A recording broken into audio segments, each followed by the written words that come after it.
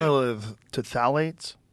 Like Phthalates are an endocrine disruptor, probably the most disturbing endocrine disruptor, and this is something we should all be looking at. Is yeah. atrazine? The herbicide atrazine is back in the news. Uh, there was a segment in uh, Joe Rogan where he interviewed uh, RFK Jr.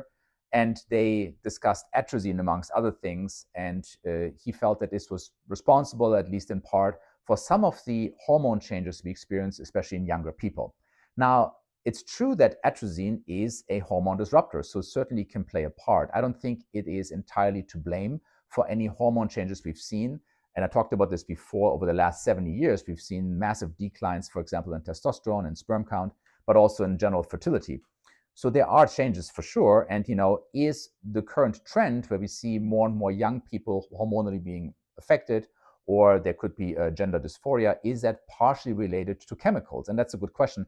I don't have the answer to that, but chemicals may certainly play a part uh, in that, and atrazine is a hormone disrupting chemical. There's no question about it.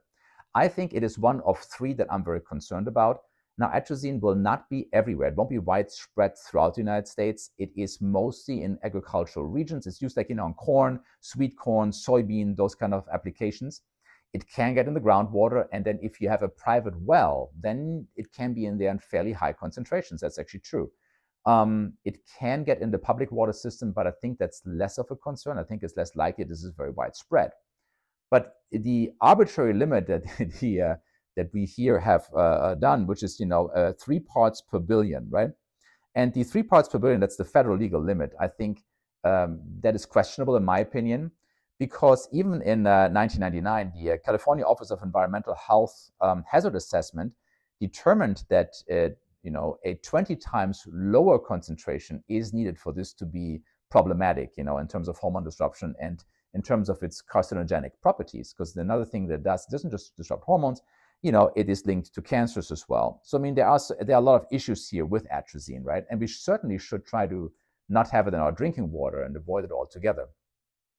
Um, but again, blaming it just, you know, blaming just atrazine, I think is very uh, unlikely it is again with the other chemicals playing playing its part, of course, right? Um, but the interesting thing is that you know uh, we are just like really uh, trying to push to continue this. You know, we're not really interested in banning it, and this is again so the EPA and then and FDA they are somewhat in agreement that we can continue to use it, right? Um, and when you think of corn, uh, uh like crops like corn, corn is problematic already because most, uh, I would say, 90% of corn in the United States is GMO and it is genetically engineered so that it withstands um, Roundup, you know, the um, glyphosate.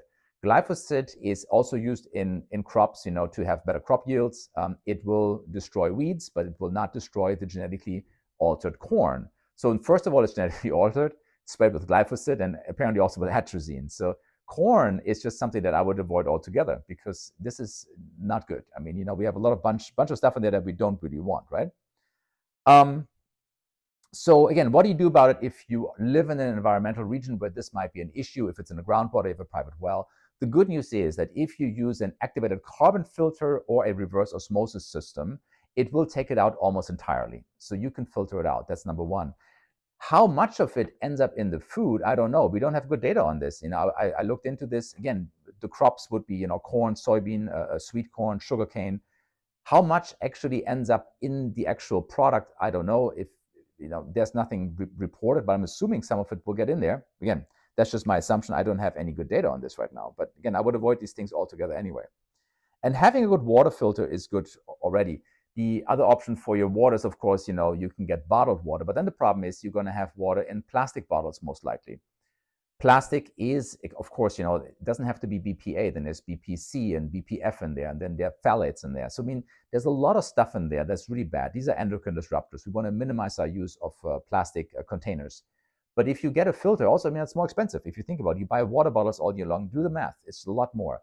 Um, you can get a uh, good um, uh, activated carbon filter, or even better, a reverse osmosis filter and I talked about, and I'm not affiliated with these guys, but the company uh, Waterdrop makes a good one, I think. It is a reverse osmosis uh, filter. You can buy this on Amazon that has one whole filter cartridge that you change, which has seven stages in there, including an activated carbon filter. And it lasts for over a year. We have one here. I've used it. I think it's excellent water quality.